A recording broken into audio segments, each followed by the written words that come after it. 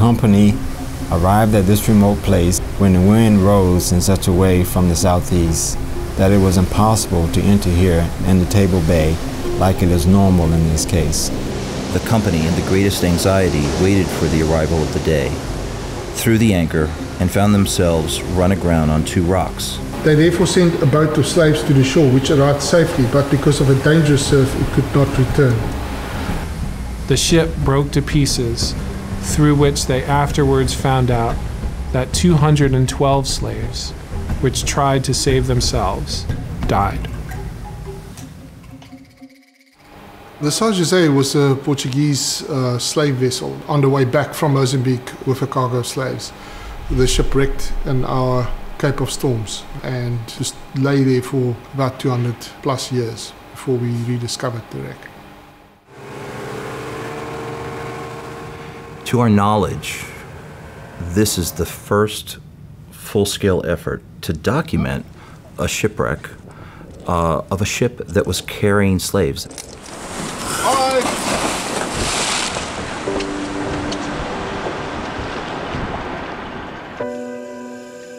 It's so important because it can lead us to a host of information about what happened to those on board is important because it also allows us to recover the memories of those who were held as less than human underneath the bowels of the ship.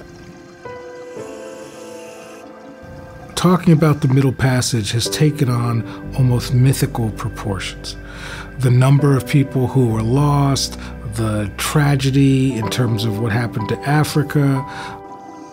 We think the São Jose story is critical, very, very important, critically important to the, uh, to the story of, of humanity, actually.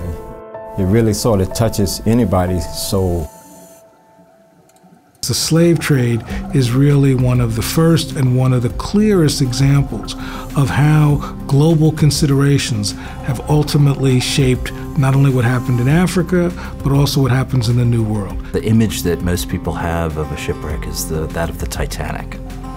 Um, the vast majority of shipwrecks um, don't look like that at all. The ship broke up completely, so there's very little that you can see that actually tells you it's a shipwreck. So you've got to look very carefully.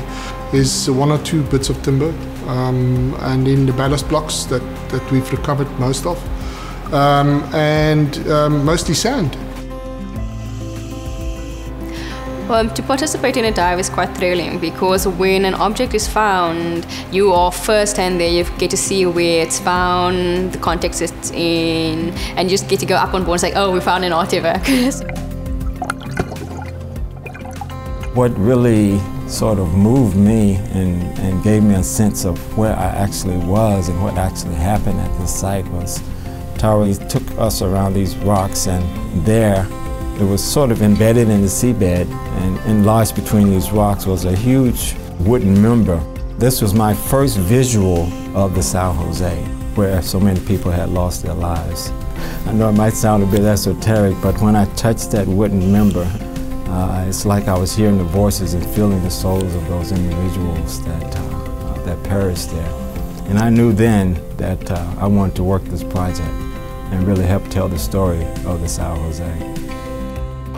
For us archaeologists, even the smallest artifact can give us a clue into the story of the, the, shipwreck. I mean, something as small as the pulley block can tell us about the type of vessel, where it was possibly used, how it was possibly used. The ballast tells us a story about the shipwreck. It can give us a date for a shipwreck. Iron ballast was often used and carried in these ships, both as a trade item to trade for slaves, but also because there was a need to weight down the ship because human bodies were not as heavy as other types of cargo. So it's a signature. I felt that it was really important to find some relics that would allow people to not imagine the enormity, but imagine the slave trade in a very personal way. This started as a project that was looking at a shipwreck site but it's grown beyond that. What began as a search for a single ship defines an arc and a trajectory across the globe and across history that unveils a new way of looking at the slave trade and it unveils a new way of operating for museums and research institutions in the 21st century.